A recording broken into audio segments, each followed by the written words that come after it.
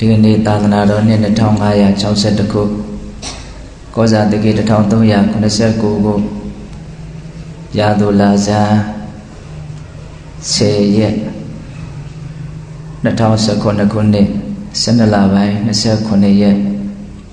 ဗုဒ္ဓဟူးနေ့ညနေခင်းခါကာလမှာရန်ကုန်တိုင်းဒေသကြီးလေကူးမြို့နယ် ရွှေမတင်ကျေးရွာတစ္ဆာရွှေစီကျောင်းတိုက်တွင်မှာဆင်းကျင်းပကြတဲ့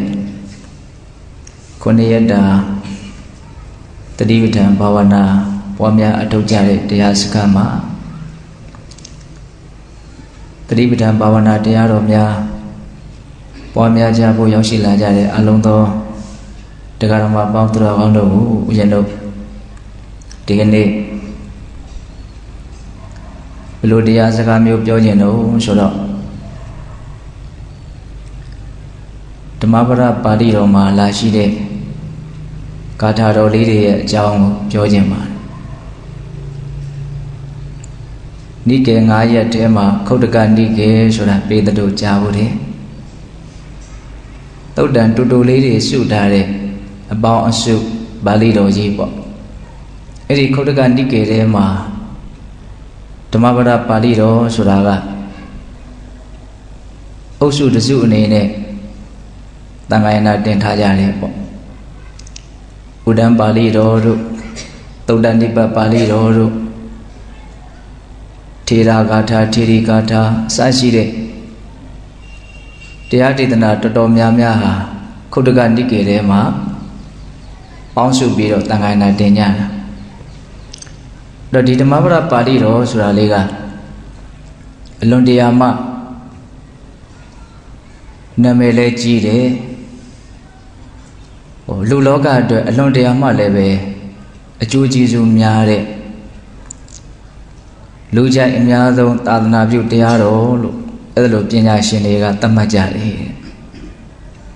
ဒီဓမ္မပဒပါဠိတော်ကိုဓမ္မပဒပါဠိတော်ဆိုတာကဂါထာလေးတွေရှုထားတာဂါထာပေါင်း423ဂါထာရှိတယ် သူကတူရာလေးတွေရှုပြီးတော့မှတ်တမ်းတင်တယ်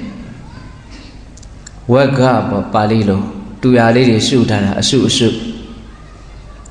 အဲ့ဒါဦးဇင်းတို့ယမကဝက်ဆိုပြီးတော့အစုံစုံဟောထားတဲ့ဒေသနာလေးတွေကိုရှုထားတာရှိတယ်အပမာဒဝက်ဆိုပြီးတော့အပမာဒမမိမလျော်ခြင်းနဲ့ဆက်ရှင်တဲ့တရားဒေသနာလေးတွေရှုထားတာရှိတယ် စိတ်တဝက်ဆိုပြီးတော့စိတ်တွေအကြောင်းပြောထားတဲ့ဂါထာလေးတွေကြီးရှုထားတာလည်းရှိတယ်ပုပ္ဖဝက်ဆိုပြီးတော့ပန်းနေနဲ့ပတ်သက်ပြီးတော့ပန်းနေနဲ့ဥမာပေးပြီးတော့ဟောထားတဲ့ဒေသနာလေးတွေရှုထားတာလည်းရှိတယ်နော်ဘာလဝက်တို့ပန္တိတာဝက်တို့ဘိက္ခုဝက်တို့အရဟန္တဝက်တို့ဟုတ်လားဗုဒ္ဓဝက်တို့အဲ့လိုမျိုးဦးဇင်းတို့တူရာလေးတွေရှုထားတာအပေါင်းအစု20နဲ့6စုရှိတယ်အဲ့ဒီဓမ္မပဒ အလွန်တရာမှလည်းပဲတမိုင်းကြောင်းအစဉ်လာကြီးတယ်တဲ့ဒီဓမ္မပဒပါဠိတော်ဟာဦးဇင်းတို့အာတောကမင်းကြီးကိုယ်တိုင်ကိုယ်ဌာနသာသနာပြုလွတ်ပြီးတော့ကမ္ဘာလောကကြီးကိုမြတ်စွာဘုရားရဲ့အစုံအမသာသနာတွေပြန်ပွားအောင်ဆောင်ရွက်နိုင်စွမ်းရှိတဲ့နော်တတိဓမ္မတောကမင်းကြီးရဲ့လို့ဖြစ်လာဖို့အတွက်ငကိုယ်တုံးကစန္ဒတောကမင်းရှုပြီးတော့အလွန်ချမ်းထမ်းတဲ့မင်းတစ်ပါးအနေကနေ တတိဓမ္မတောကမင်းကြီးရဲ့လို့သာသနာပြုမင်းကြီးဖြစ်လာဖို့အတွက်ဒီဓမ္မပဒပါဠိတော်မှာလာရှိတဲ့ဂါထာလေးကိုနာရလို့အဲ့လိုပြောင်းလဲသွားတာလို့ဆိုတယ်နောက်ပြီးတော့ဦးဇင်းတို့အနောထာမင်းကြီးဆိုရင်လေမြန်မာနိုင်ငံတဏ္ဍတဏ္ဍတလျာထိရဝါဒဗုဒ္ဓသာသနာထွန်းကားအောင်ပြန်ပွားတဲ့နေရာမှာပြန်ပွားအောင်ကြိုးစားအထောက်တဲ့နေရာမှာအလွန်တရာမှအကျိုးကျေးဇူးများတဲ့မင်းကြီးပေါ့အဲ့ဒီနောထာမင်းကြီးလည်းပဲ ရှင်အရဟံမထေရကဒီဓမ္မပဒပါဠိတော်မှာလာတဲ့ဂါထာလေးကိုဟောပြလို့အဲ့ဒါလိုထူးခြားတဲ့မင်းကောင်းမင်းမြတ်တစ်ပါးအဖြစ်ကိုပြောင်းလဲသွားတာအဲ့ဒီဂါထာလေးလည်းပိသတို့ကြားဦးတယ်အပမတောအမတံပဒံပမတောမိစုနောပဒံအပမတ္ထာနမိယန္တိရေပမတ္ထာယထာမတာကြားဦးတယ်နော် မမိမလျော့မပေါ့မဆတတိနဲ့နေခြင်းသည်မတရားနိဗ္ဗာန်ရခြင်းရဲ့အကြောင်းတဲ့မိမိရောရောပေါ့ပေါ့ဆာတာတတိကင်းပြီးတော့နေခြင်းကတော့အဖန်ဖန်တရားခြင်းရဲ့အကြောင်းတဲ့မမိမလျော့နေကြတဲ့ပုံကိုယ်တွေဟာမိမိလျော့နေကြတဲ့ပုံကိုယ်တွေတေကြသလိုအသေးစိုးနဲ့တေရတယ်ဆိုတာမရှိဘူးတဲ့ဒါကြောင့်မမိမလျော့နေတဲ့လူနဲ့မိမိရောရောနေတဲ့လူရဲ့တေခြင်းတရားဟာဘလို့မှမတူဘူးလို့အဲ့ဒီကာထာလေးက အဲ့ဒါလိုကျေပြတ်နဲ့နေတဲ့အတိပ္ပယ်တွေကိုအကျုံးဝင်စေတယ်ဓမ္မပဒပါဠိတော်မှာမှတ်တမ်းတင်ထားတဲ့ဂါထာလေးတွေကပြောရရင်ပါဠိကဗျာလေးတွေပဲအလုံးမနှစ်သက်မြတ်လို့စရာကောင်းတယ်။နောက်အတော့ကမင်းကြီးဆိုရင်လည်းပဲသူ့ရဲ့တူនិရောဓတာမဏေကဒီဂါထာလေးကိုဟောလို့ပဲသူလည်းပဲပြောင်းလဲသွားတာ။နောက်ဦးဇင်းတို့ဒီဘက်ခေတ်မှာဒီဓမ္မပဒပါဠိတော်နဲ့တွေ့ရလို့ ဘာသာကြားတွေကနေပြီးတော့ဗုဒ္ဓဘာသာဖြစ်သွားတာတွေဗုဒ္ဓဘာသာမှာတာမန်ဗုဒ္ဓဘာသာမှုဖဲနဲ့တော့ယဟန်တော်တွေဖြစ်သွားတာတွေတောင်ရှိတယ်လွန်ခဲ့တဲ့ဦးဇင်းတို့နှစ်ပေါင်း100နီးပါးလောက်ကထင်ရှားကြော်ကြားခဲ့တဲ့အီတလီဘုန်းတော်ကြီးဥလောကနာထဆိုတာနော်အသက်ကြီးတဲ့ပုဂ္ဂိုလ်တွေဆိုရင်ကြားဖို့မယ်ထင်တယ်နော်အဲ့ဒီဆရာတော်ကြီးဥလောကနာထဆိုလို့ရှိရင် ဒီဓမ္မပဒပါဠိတော်ဘာသာပြန်ကိုတွေ့ရလို့ဖတ်ရလို့ဗုဒ္ဓဘာသာယဟန်တော်ဖြစ်သွားတာဒါပေမဲ့ तू ကငိုတွေကလည်းပဲပါမီလည်းပဲပါတယ်လို့ဆိုရမှာနော် तू သိပ္ပံပွဲရပြီးတဲ့နောက်မှာဒီတက်ခွဲကန်းထဲမှာသူ့ရဲ့မူရင်ရိုမန်ကက်သလစ်ပေါ့နော်အဲ့ဒီဘာသာတရားနဲ့သိပ္ပံအယူအဆတွေဟာအမြဲတမ်းစစ်တိုက်နေတယ်လို့ပြောတယ်သူကောင်းထဲမှာ အဲ့လိုစစ်ထိုးကြတိုင်းလည်းပဲသိပ္ပံပညာကအမြဲတမ်းအပေါ်ကြီးကရတယ်တဲ့ဒါသူကိုယ်တိုင်ရေးထားတာပေါ့နော်သူ့ရဲ့မူရင်းဘာသာတရားနဲ့သိပ္ပံသိပ္ပံတရားတွေတော့အခြေအတင်စစ်ခင်းတဲ့နေရာမှာအမြဲတမ်းသိပ္ပံပညာကအထက်စီးရနေပြီးတော့ရောက်တယ်ဒါပေမဲ့လို့သူ့စိတ်ထဲမှာယေရှုခရစ်နဲ့အဲစိန်ဖရန်စစ်ဆိုတဲ့ဘုန်းကြီးကိုတော့သူကြီးညိုးနေတော့မယ်ခြောက်လို့မရဘူးနောက်တော့အဲ့ဒါသူ ဒီဓမ္မပဒ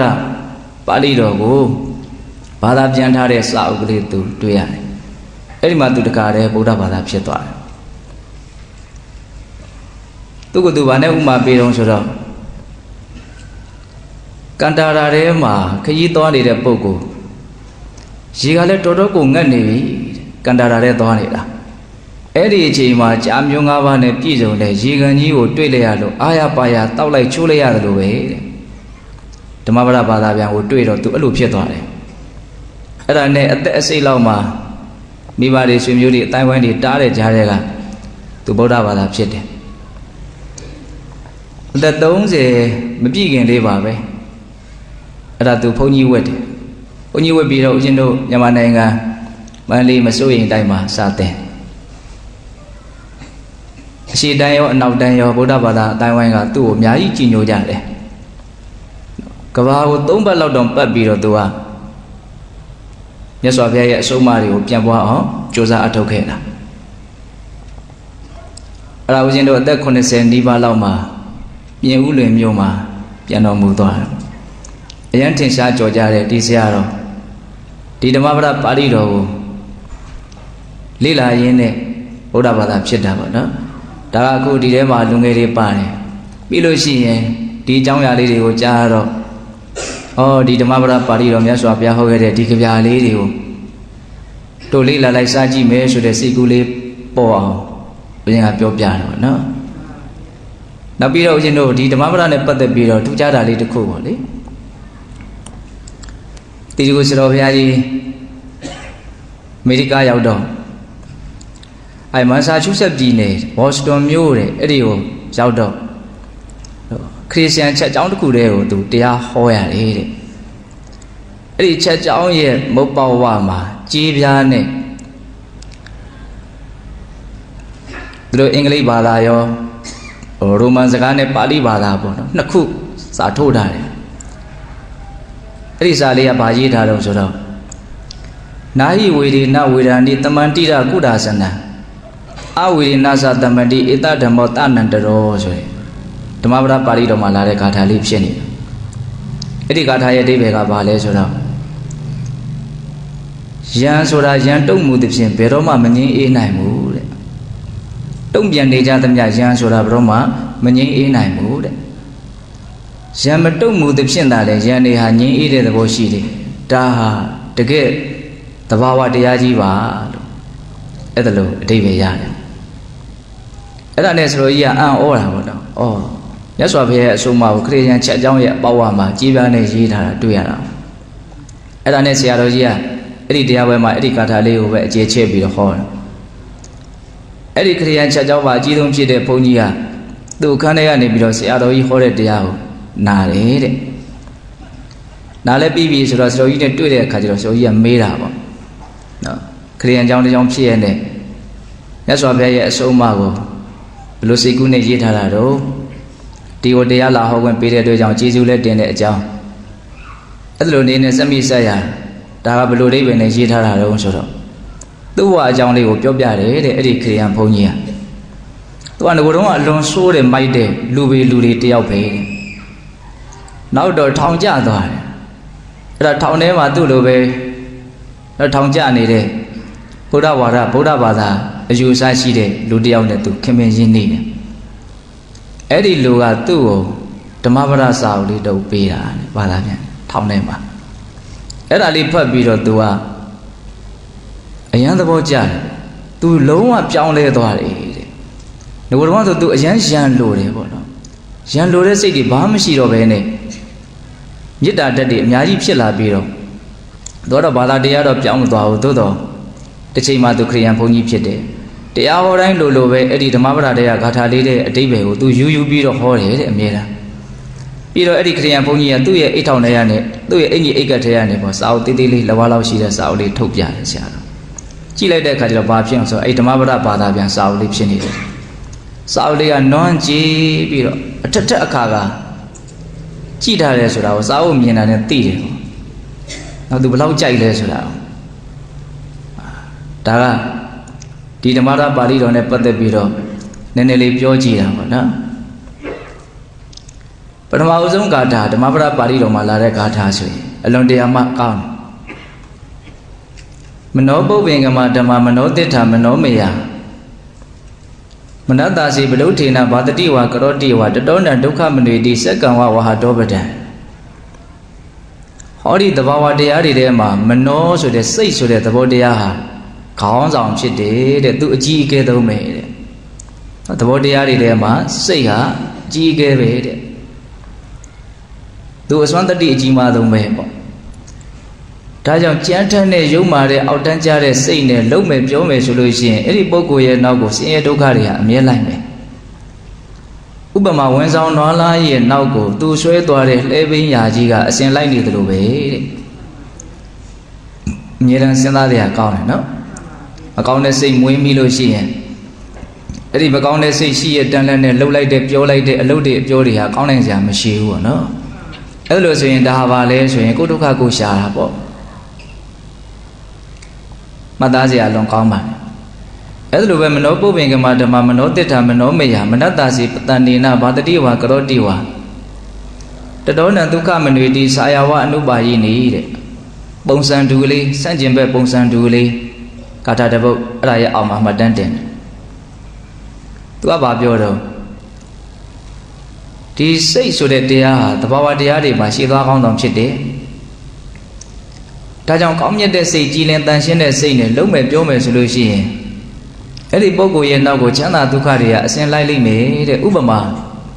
မိမိသွားရနောက်ကိုမိမိရဲ့အရေးဟာအစင်လိုက်နေတယ်လို့မျိုးပါပဲတဲ့ကိုယ်တွေအကောင်းဆုံးမိတ်ဆွေတစ္ဆာရှိဆုံးမိတ်ဆွေနော်ကောင်းတဲ့စိတ် စိတ်ကောင်းနှလုံးကောင်းမွေးကြဖို့စိတ်ကောင်းနှလုံးကောင်းထွန်းဖြစ်ထွန်းနေတဲ့အချိန်မှာလှုပ်လိုက်တဲ့အလုပ်ပြောလိုက်တဲ့အပြောဟာအလွန်တရာမှကောင်းကျိုးချမ်းသာကိုဖြစ်စေတယ်အဲ့လိုလေးဦးဇင်းတို့အစုံအစုံနော်စန့်ကျင်ဘက်ကလေးနဲ့စုံတာရှိတယ်စင်တူယုံမလေးစုံနေတာရှိတယ်ဒီလိုဂါထာလေးတွေရွေးပြီးတော့ရှုထားတာကိုရှင်မကဝဲလို့ခေါ်တယ်အစုံအစုံဒေသနာအခု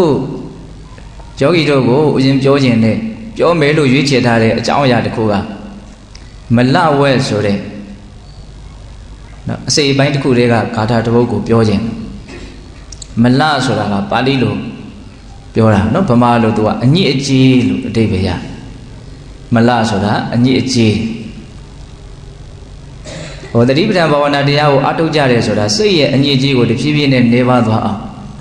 စိတ်ကလေးဖြူရှင်တန်ရှင်းသွားအောင် ကြိုးပမ်းကြတာပေါ့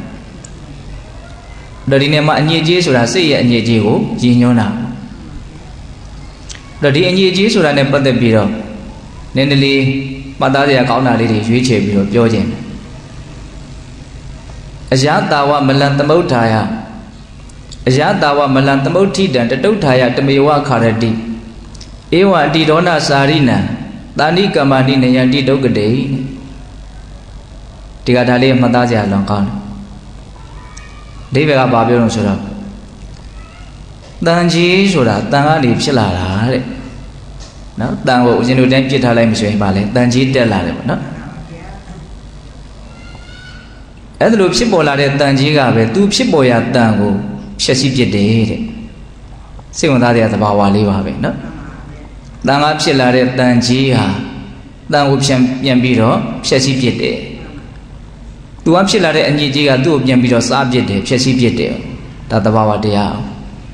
အဲ့ဒါကိုမြတ်စွာဘုရားဥမာပေးတာအဲ့ဒါလိုပဲတဲ့အေဝံတိရောဏစာရိနံအပြစ်ရှိတဲ့အလုပ်တွေကိုလွန်လွန်ကျူးကျူးလုပ်ကြမယ်ပြောကြမယ်တွေးကြံကြမယ်ဆိုလို့ရှိရင်အဲ့ဒါဟာအညစ်အကြေးဖြစ်တယ်စိတ်ရဲ့အညစ်အကြေးဖြစ်တယ်မကောင်းမှုဖြစ်လာပြီဆိုလို့ရှိရင်မကောင်းမှုမိမိတဏ္ဍာမှာဖြစ်လာပြီဆိုရင်အဲ့ဒါမိမိတဏ္ဍာကထွက်လာတဲ့အညစ်အကြေးကြီးပဲပေါ့ဆိုလိုတာက အဲ့ဒီအညစ်အကြေးကလည်းပဲဘယ်သူ့ကိုပြန်ဖြည့်ဆည်းမှာလို့ဆိုတော့ကိုယ့်ကိုပဲပြန်ပြီးတော့ဖြည့်ဆည်းမယ်တဲ့လောက်ထိဖြည့်ဆည်းနိုင်လို့ဆိုရင်တာဏိကမ္မဏိနေယံတိဒုက္ကတေမကောင်းတဲ့ဘဝကိုရောက်သည့်အထိတောင်ဖြည့်ဆည်းပြနိုင်တယ်တဲ့နော်ဒီဘဝအရှိတကွဲအကျိုးနဲ့ဖြစ်တာမျိုးဆင်းရဲဒုက္ခမျိုးစုံတွေ့ကြုံရတာမျိုးဒါလောက်တင်မကပဲနဲ့နော်အလွန်ရှည်လျားလာဆိုတော့ကာလပတ်လုံးဆင်းရဲလာတဲ့ပူလောင်လာတဲ့ပင်ပန်းလာတဲ့ဘဝခန္ဓာတွေကိုရစေပြီးရစေသည့်အထိ ကြီးကြီးမားမားဖြစ်စည်းပြနိုင်တယ်ဘယ်ဟာဖြစ်လာတဲ့အညီကြီးက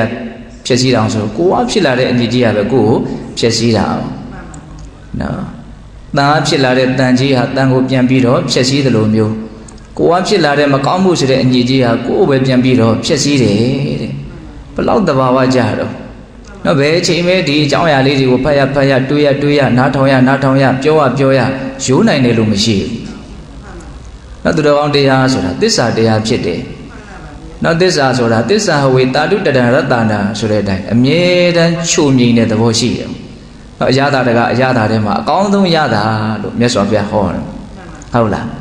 ဒါကြောင့်စဉ်းစားစရာစဉ်းကျင်စရာကောင်းတယ်အလွယ်တကူလည်းပဲစောင့်ထားမယ်ဆိုရင်စောင့်ထားလို့ရတယ်ဒီအိဗယ်ရှိတဲ့ဒီပါဠိကဗျာလေးတွေကနော်ကိုကဒါကိုအလုံးမြတ်နိုးလို့ကြက်မှတ်ထားမယ်ဆိုလို့ရှိရင် အများကြီးတောင်ရနိုင်တယ်သိပြီးတော့မခက်ပါဘူးအဓိကကဒါကိုတန်ဖိုးထားပြီးတော့လိုချင်တဲ့စိတ်ကိုယ်တန်တမှာတည်ခြင်းတဲ့စိတ်ရှိဖို့ရကမူရင်းပေါ့နော်အဲ့ဒါလိုများကြိုးစားအထုတ်မယ်ဆိုလို့ရှိရင်အမှတ်ရလို့ရွတ်ဆိုတိုင်းရွတ်ဆိုတိုင်းနော်ကိုယ်ကိုမြင်မာတဲ့အတွေးအမြင်တွေနော်လမ်းကြောင်းတွေကိုအများကြီးတဲ့ပေးနိုင်တဲ့လမ်းညွန်ချက်တွေမဖြစ်နိုင်ဘူးလားဖြစ်နိုင်တယ်နော်အဲ့တော့ဒီမှာဦးဇင်းတို့ဓမ္မပဒပါဠိမှာပါဠိတော်မှာလာတဲ့ဒီဂါထာလေးတွေရဲ့ နော်ဒီပြင်စိတ်ဝင်စားစရာကောင်းတာတစ်ခုရှိသေးတယ်အဲ့ဒါဘာလဲဆိုတော့ဒီဂါထာလေးတွေကိုမြတ်စွာဘုရားဟောတဲ့အခါမှာသူကအကြောင်းမဲ့ဟောတာမဟုတ်ဟောเสียအကြောင်းဖြစ်လာလို့အဲ့ဒီဖြစ်ရတဲ့အဝင်ဝင်ကြဖြစ်မဲ့အကြောင်းအရာကိုမြတ်စွာဘုရားဟောပြတာဒါမြတ်စွာဘုရားမှပဲဖန်တီးနိုင်မယ်လို့ဆိုကြပါစို့အခုဒီအတိပ္ပယ်ရှိတဲ့ဂါထာလေးကိုမြတ်စွာဘုရားဘာကြောင့်ဟောတာတော့နော် တန်ခါဖြစ်လာတဲ့တန်ကြီးဟာတန်ကိုပဲပြန်ပြီးတော့ဖြည့်ဆည်းတယ်လို့ကိုကဖြစ်လာတဲ့မကောင်းမှုဟာကိုယ်ပဲပြန်ပြီးတော့ဆင်းရဲစေတယ်ဆိုတာဘာကြောင့်မြတ်စွာဘုရားဒီဂါထာလေးကိုဟောရတာတော့ဟောရခြင်းရဲ့အကြောင်းဏိဒံဝတ္ထုဆိုတာလေးရှိတယ်အဲ့ဒါလေးတွေနဲ့ဆက်ဆက်ပြီးတော့မှတ်သားမှသူကပိုးပြီးတော့အတိပ္ပယ်ကပိုးပိုးပြီးတော့လေးနဲ့သွားတဲ့သဘောရှိတယ်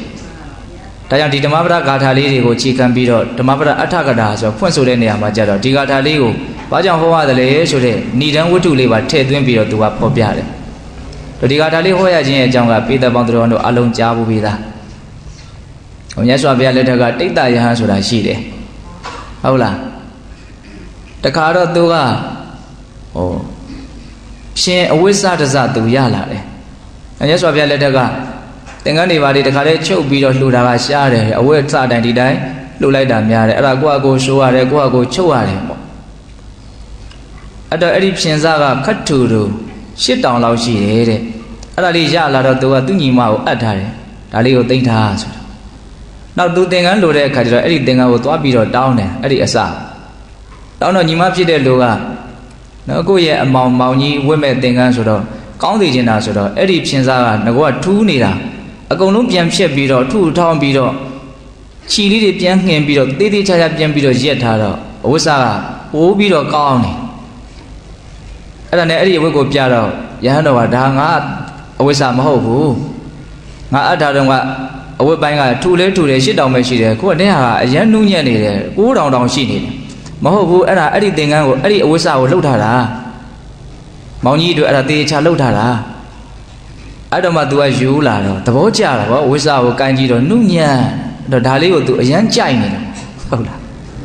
ကောင်းတာနဲ့တွေ့ရတာလည်းပဲကံကောင်းတယ်လို့တခါတလေပြောလို့မရဘူး ဦးဇင်းကအဲ့လိုအတွေးလေးလည်းပေါက်မိတယ်အဲ့ဒါနဲ့ဒီသင်္ကန်းဒီအဝိစာလေးကိုဆိုးယဟန်တွေကိုအကူကြီးတောင်းပြီးတော့ဝိုင်းပြီးတော့ချုပ်ကြတာဗောသင်္ကန်းချုပ်ချုပ်ပြီးပြီဆိုတော့အဲ့ဒီနေ့ညသင်္ကန်းလေးကိုခောက်ပြီးတော့မနေ့ကျရင်ဝတ်မယ်သင်္ကန်းလေးကအစားလည်းအရန်နုံညံ့သူစီတယ်မှာရန်သဘောကျတယ်အဲ့ဒါဖြစ်ကျင်တော့အဲ့ဒီနေ့ညတယ်အစာမကြေယောဂဖြစ်ပြီးတော့ညတွင်းချင်းပြန်တော်မူတယ်မိုးလိုက်ရအောင် ဘဝမှာဇေယျတွေကတော့အမျိုးမျိုးချကြတာပဲနော်ဘာလုံးမယ်ဘာလုံးမယ်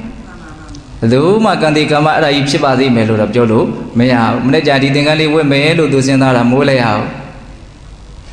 အဲ့ဒီသင်္ကန်းရဲ့ပုံမှာဆွဲလန်းမှုဆိုတာရှိတယ်အဲ့ဒီဆွဲလန်းမှုကအညစ်အကြေးပဲဟာအဲ့ဒီအညစ်အကြေးကဘုသူတန်တန်မှာဖြစ်တော့သူတန်တန်မှာဖြစ်နေတာဒါရဟန်းတစ်ပါးအနေနဲ့အများကြီးခက်ညံ့ညံ့လို့တော့ပြောလို့မရဘူးသို့တော်လည်းပဲဒါလေးတွေကပုထုသင်တဘာဝဖြစ်တတ်တယ်ပေါ့နော် အဲ့တော့အဲ့ဒီအညစ်အကြေးကရဟန်းဆိုပြီးတော့လည်းပဲတက်ညာဝင်ပေးမှာတော့မဟုတ်ဘူးသူဟာသူသဘောသူဆောင်ပြီးတော့သွားမှာပဲလေအဲ့ဒါနဲ့ဘာဖြစ်တုံးဆိုတော့သူဆွဲလန်းရာသင်္ကန်းထဲမှာသွားပြီးတော့ဖြစ်ရတယ်တဲ့ဘာဖြစ်တုံးဆိုတော့တန်းဖြစ်တယ်တဲ့ပေးသလိုကြားဥပါတယ်အဲ့ဒါနောက်နေ့ရောက်တော့သူ့ရဲ့ဒီရုပ်ကလတ်ကိုမီးရှို့ပြီးတော့ကြံရစ်တာဒီသင်္ကန်းလေးကြံရစ်တော့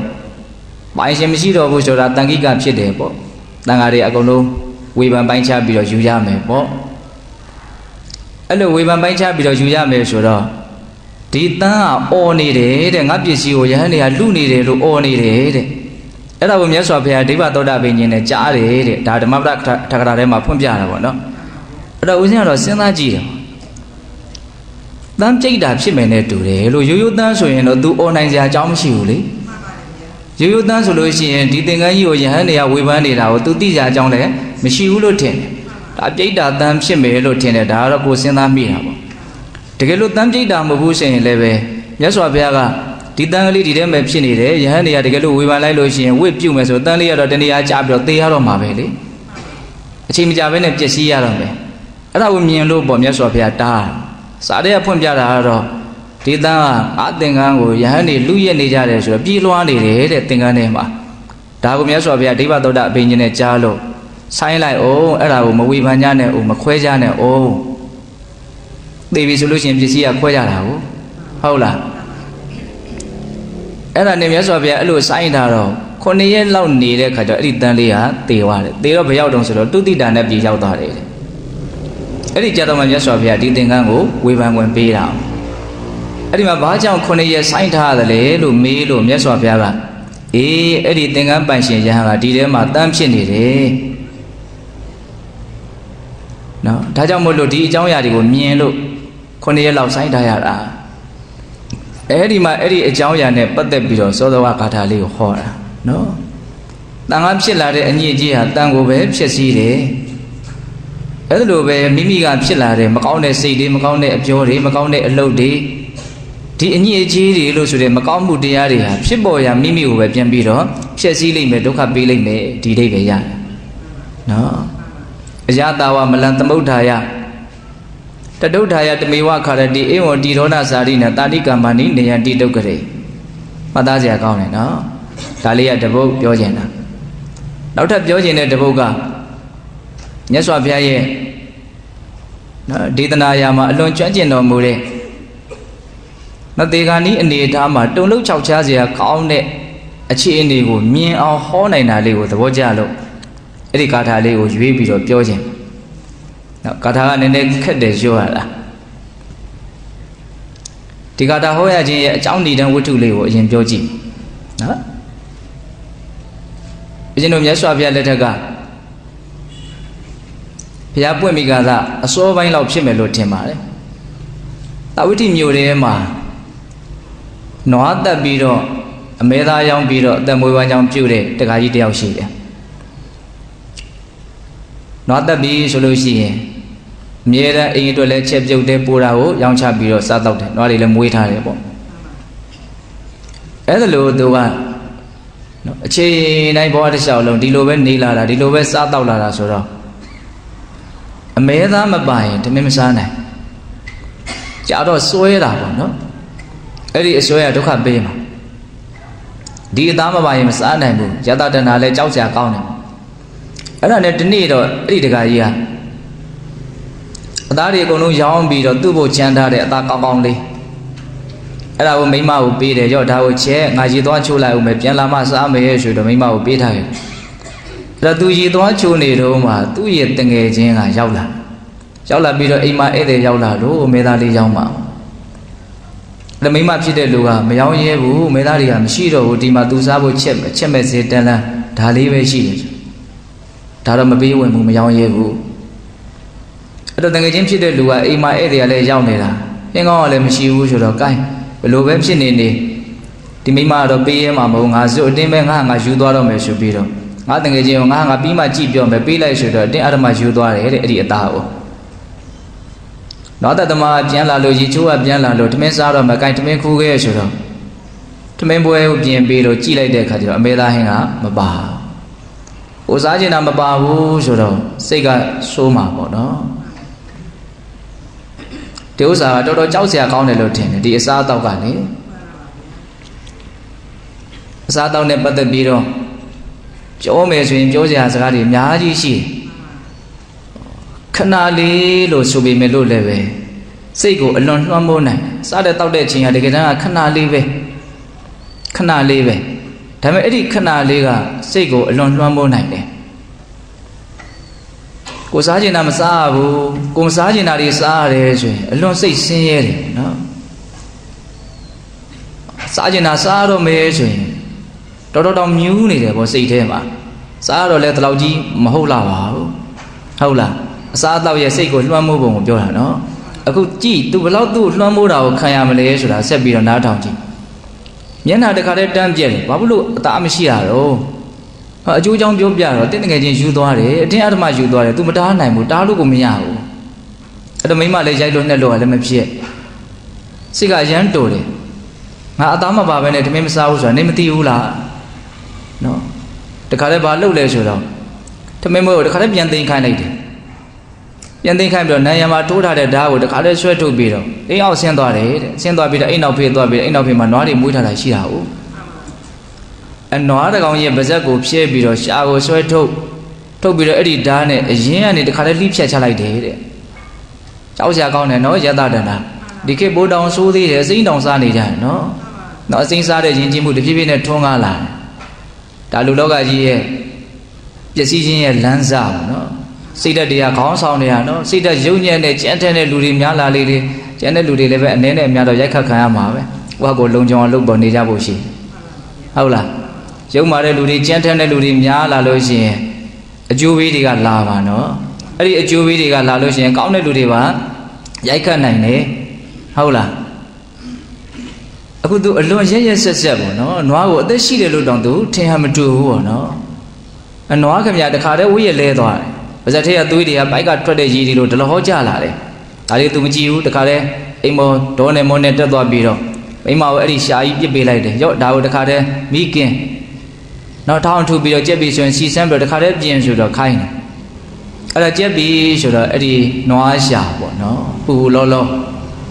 အဲ့ဒါကိုထမင်းနဲ့စားမယ်ဆိုပြီးတော့အဲ့ဒီနွားရှာကိုတုံးတစ်ထားတာလေးကိုသူ့ရှာဘောကိုတင်လိုက်တာလေ သူ့ရဲ့ရှာတခါတည်းပြတ်ကြတယ်တဲ့တူသောကျိုးကိုပေးတာ哦နော်အစွမ်းထက်တယ်နော်ကြမ်းထမ်းတဲ့စိတ်တွေရတယ်ဟုတ်လားခုတင်လေးသူကြမ်းကြမ်းထန်ထန်စိတ်တွေဖြစ်နေတာအရှိန်တောင်မသေးသေးဘူးတော့နွားရဲ့ပုံမှာသူဘလောက်ရဲဆက်ဆက်လှုပ်လာလဲသူဘလောက်ဒီစိတ်ကြီးကဒီလောက်လှုပ်နိုင်တဲ့အထိမပြင်းထန်တယ်ဆိုတော့ဘလောက်တောင်ပြင်းထန်မဲ့စိတ်ကလေးဆိုတာကိုစဉ်းစားကြည့်ပါနော်အဲ့ဒီစိတ်ကအကျိုးပေးတာပဲနော်အ မေသားတုံးလဲရှာပေါ်ရောက်ရောက်သူ့ရှာကလည်းအရင်ကနေပြက်ကြတယ်တဲ့တခါတည်းသွေးတွေထွက်လာပြီးတော့ဘလောက်နာမလို့နော်ရှာမဖူးပေါက်တာတော့တော်တော်နာနော်ရှာကြီးတစ်ခုလုံးပြက်ကြတယ်ဆိုတော့ဘလောက်များနာမလဲဟောအဲ့တော့သူမတ်တက်ကိုမရက်နိုင်တော့ဘူးတုံးလုံးလဲလဲပြီးတော့မနေနိုင်ဘူးဘလို့နေရတော့ဆိုတော့နွားလိုပဲဝက်ဥကုန်းပြီးတော့អော်ရတယ်တဲ့တေးချာချာလုတ်ပြီးတော့អော်တာတော့မဟုတ်ဘူးသူကသူအတန်လေးထွက်နေတော့တာနေမှာပေါ့ခံရခက်လွန်းလို့ဟုတ်လား အဲ့ဒီလိုမျိုးအိမ်ထဲမှာသွေးတွေနဲ့မြေမကောင်းကျူမကောင်းအနေထားယုံတွေကြမ်းကြမ်းထန်ထန်ဖြစ်နေတော့အိမ်မှာဖြစ်တဲ့လူကသူ့မှာတူဒီသားလေးရှိတယ်အဲ့ဒီသားလေးကိုသူစိုးရိမ်ဩကြည်သာအလွန်ကြမ်းထန်တဲ့မြင်ကွင်းပဲဒါဘာဖြစ်တယ်လဲမသိဘူးကြောက်လဲကြောက်မှာပေါ့နော်အဲ့ဒါနဲ့ဒကမကြီးကဘာလုပ်တုံးဆိုတော့သူ့သားကိုငါသားမင်းအဖေအလွန်ရှုံးပါတယ်မကောင်းတဲ့စိတ်တွေသူ့ကိုကြိုးပေးနေပြီအဲ့ဒါမင်းဒီကိုမြန်ရောက်လာမလားမသိဘူးစိတ်မချဘူးဒါကြောင့်ဒီအိမ်ကနေပြေးလို့ခိုင်းနေတဲ့ကင်လုံးမိလို့ပါလှုပ်လိုက်တာ နော်အဲ့ဒါနဲ့ဒီသားလေးကမိရဲ့တိုက်တွန်းချက်ကြောင့်တခါတည်းပြေးတယ်ဘယ်ရောက်တော့ဆိုတော့တက္ကသိုလ်ပြည်ရောက်သွားတယ်တဲ့ဒါကစားထဲမှာရေးထားတော့အကျဉ်းမြင့်ရေးပြတာလည်းဖြစ်ချင်းဖြစ်မယ်ပေါ့နော်တော့ဒီဖြစ်ရဆိုကြီးတွေ့ပြီးတဲ့နောက်မှာမအေးကသားကိုတက္ကသိုလ်ပြည်ကိုပညာသင်လွှတ်တာလည်းဖြစ်နိုင်တယ်ပေါ့ဟုတ်လားအတက္ကသိုလ်ပြည်ရောက်တဲ့အခါကျတော့အဲ့ဒီကလေးကဘာလုပ်တော့ဆိုဗရိန်တင်ရွှေဗရိန်တင်တယ် အဲ့ဒါဗရိန်တက်ပြီးဆိုတော့ဗရိန်ဆရာကြီးနဲ့သမီးနဲ့ရပြီးတော့သူကအဲ့ဒီတက္ကသိုလ်ပြည်မှာပဲအခြေချပြီးတော့နေလိုက်ကြတော့လားနောက်တော့သားသမီးတွေမွေးလာတဲ့အခါကျတော့အဲ့ဒီသားသမီးတွေကဖေးရဲ့ဇာတိဖြစ်တဲ့တာဝတိကိုပြန်ပြီးတော့အိမ်တော်ကြကြတာတွေရှိတယ်အမေကြီးတွေပါတယ်လည်းအဲ့ဒီမှာရှိတာဟုတ်ဟုတ်လားအဲ့ဒါနဲ့သူ့ရဲ့သားသမီးတွေကတာဝတိမှာအခြေချကြတယ်ဖေးကြီးကအဲ့ဒီခုနတုန်းကနွားသက်သမားရဲ့သားတော်တော်အသက်ကြီးပြီအဲ့ဒါသူကတော့တက္ကသိုလ်ပြည်မှာပဲကျန်ရစ်တယ် အဲ့တော့နောက်တော့သူသားသမီးတွေကမြတ်စွာဘုရားကိုအယံကြည်ညိုကြတယ်နောက်မြတ်စွာဘုရားရဲ့တပိတာဝကတွေဖြစ်နေကြတာအဲ့ဒါနဲ့သူ့ရဲ့အဖေကြီးကိုဩငါတို့ရဲ့အဖေဟာဘုရားမှမသိတရားမှမသိအသက်ကလည်းကြီးလာပြီအိုလာပြီဒါကြောင့်အကောင်းဆုံးကျေးဇူးဆက်တဲ့အနေနဲ့နော်အဖေကိုဟောဒီတာဝတိမြို့ကိုခေါ်ပြီးတော့ထားမယ်ပြီးရင်ရသော်ဘုရားကိုဖူးမြော်စီမယ်တရားတော်ကိုနားစီမယ်ဆိုပြီးတော့အသက်ကြီးကမှတာသမီတွေကတာဝတိကိုပြန်ခေါ်ကြတာဟုတ်လား အဲ့ဒါနဲ့တာဝတိရောက်ပြီဆိုတော့ရသော်ဘုရားမှုရှိတဲ့တန်ဃာတော်တွေကိုပင့်ပင့်ပြီးတော့ဆွမ်းကတ်တာသမီတွေကပြီးတော့မြတ်စွာဘုရားကိုလျှောက်တယ်မြတ်စွာဘုရားတဲ့ဒါမြတ်စွာဘုရားကိုတပည့်တော်တို့ရဲ့အဖေအသက်ရှင်စဉ်မှာအဖေကိုရည်ရွယ်ပြီးတော့လှူတဲ့ဇီဝဘတ်နော်